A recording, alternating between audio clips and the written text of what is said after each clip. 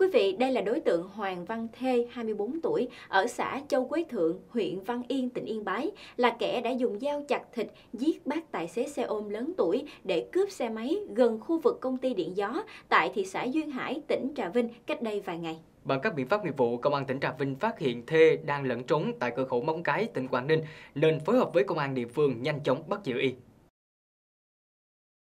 Cụ thể, khoảng 18 giờ 30 phút ngày 12 tháng 7, khi ông Trần Vĩnh Xuân, 61 tuổi, là người chạy xe ôm ở ấp Định An, xã Đông Hải, huyện Duyên Hải, tỉnh Trà Vinh, đang đứng đợi khách tại bến xe thị xã Duyên Hải thì có một thanh niên cao khoảng 1m6, mặc áo công nhân, đến thuê chở về hướng công ty điện gió.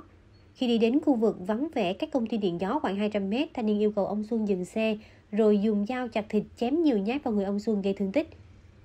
Đến khi nạn nhân không còn sức chống cự, thanh niên vứt bỏ hung khí cướp xe máy của ông Xuân rồi chạy khỏi hiện trường. Cơ quan cảnh sát điều tra xác định nghi phạm là Hoàng Văn Thê, tuy nhiên nghi phạm đã nhanh chóng rời khỏi địa phương.